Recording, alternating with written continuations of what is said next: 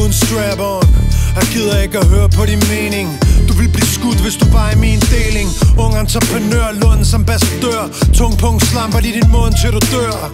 Ond tung og dum presse med nør De kan ikke presse mit humør. Hør kun kras i mit øre. Min parfume er en stor lang succes. Raffineret røvfuld til alt hvad der er etableret. Jeg laver kun rentabel, alt er resonabelt. Snyder staten, mens de sidder derhjemme og bryler af dem.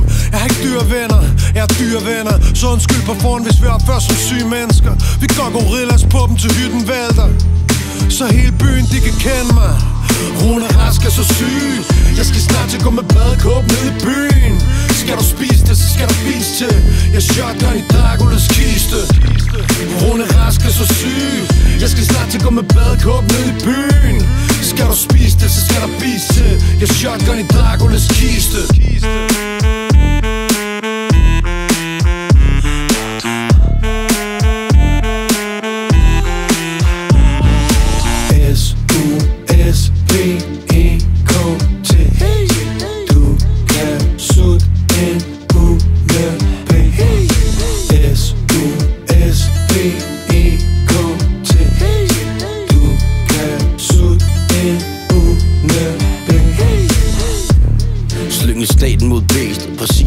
Præcis progression Prosække til eftermælet. Præstis fyldt tom poser Spiser laks gennem skægget.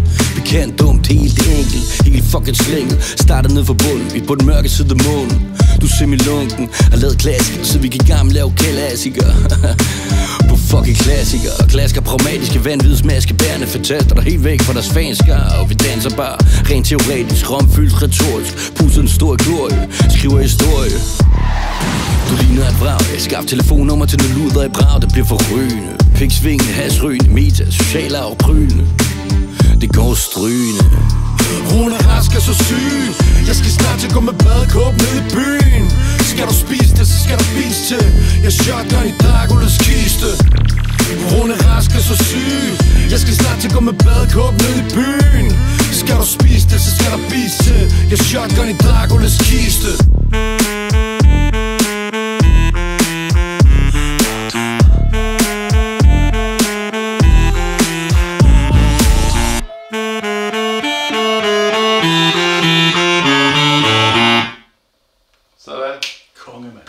Elsker dem, mand. Det er helt vildt, mand. Hvis de var her lige nu, hvad vil du så sige til dem? Jeg vil bare sige, at de er kongerne af dansk rap. Det er de 100%.